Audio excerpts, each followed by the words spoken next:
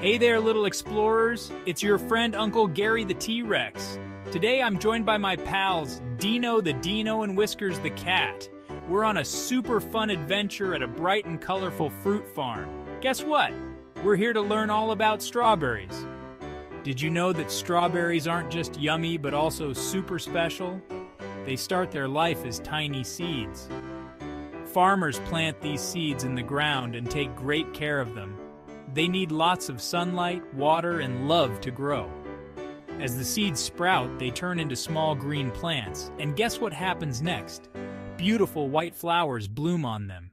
These flowers are very important because they turn into strawberries. That's right!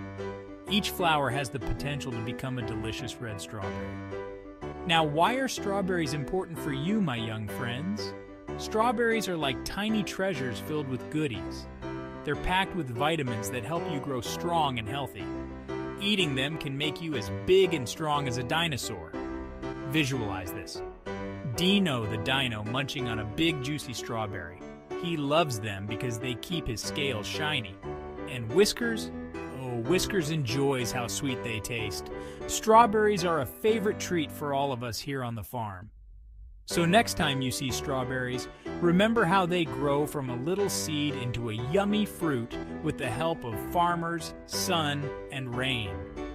And when you eat them, think of how strong and healthy they help you become, just like your big dino friends.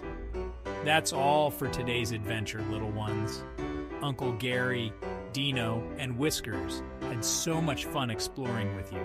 Now off to bed, dream of walking through fruit farms and munching on delicious, juicy strawberries. Good night, and remember, we love learning and growing with you.